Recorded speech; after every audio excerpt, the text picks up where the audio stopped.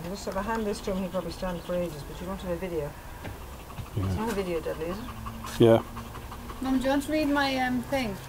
I have to cut it down by about 270 words still. Okay. And He's not standing straight. Stand up. Okay, let's- come here. Hand that, look here. You just might stand Probably a on the little given this. Now, I- I've repeated go myself now. considering. Have you?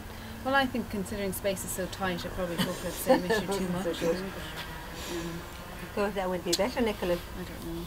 We just thought it'd be much If I'd better. had Oh, more time, no. I would stop I it. could have done it. The hell, that's standing. That's You know, proper. yogurt up here and butter down there. Is that right? Isn't that a good yogurt? Don't choke yourself with that. Go the other side, darling. Yeah, go this side. Now, hold that. His hair looks quite fair now, doesn't it? Mm. I'm going in to get him a little hat because I think in the bottom drawer now there will be one, I'm sure. Where?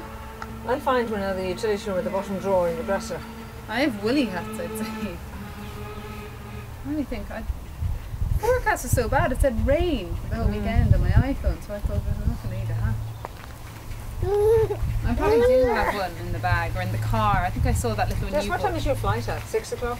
something like that. I don't know. So you have, I thought about it. you have to be at the airport at four.